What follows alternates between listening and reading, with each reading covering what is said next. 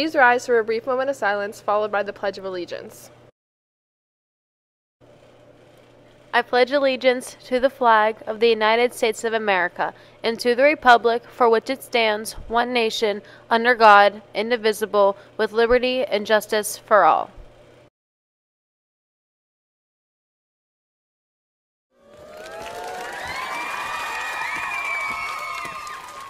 Good morning, New Brighton. Today is Monday, October 7th, 2024. Rosalind Candy Castle is now hiring for two part-time positions. The first is a store clerk role, where you'll be responsible for waiting on customers, rotating stock, and filling candy cases. The hours are Monday through Friday from 3 p.m. to 6 p.m., and Saturdays from 10 a.m. to 6 p.m. You must be able to work three to five days a week and be at least 15 years old. You're also looking for a stock position, which includes rotating stock, cleaning, and mopping the production area.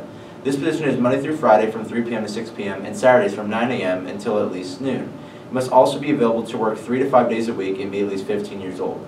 If you're interested, stop by Rosalind Candy Castle for more information. A representative from Jostens will be here Wednesday, October 16th during homeroom in the Little Theater to meet with seniors regarding caps and gowns. He will return on Monday, October 21st during homeroom in the Little Theater to meet with sophomores regarding class rings. Any student interested in volunteering for the YMCA's Empty Bowls event on Tuesday, October 15th, or for the Christmas extravaganza starting October 5th through December 12th can stop in guidance to pick up information. Any sophomore or junior interested in the CCBC Academies or any senior interested in attending CCBC can sign up and pick up a field trip for the CCBC Aim for the Future Friday event taking place on Friday, October 18th. Get ready to dig deep. Come out and support the girls volleyball team and the Susan G. Komen Foundation on Tuesday, October 8th at 6 p.m. Wear pink and receive one entry to win the pink raffle basket. The students with the most obnoxious pink outfit will also receive one free raffle entry. Also bring a dollar for the skills competition of serving over the net. Returning members of Ushers Club are invited to apply for several open leadership positions.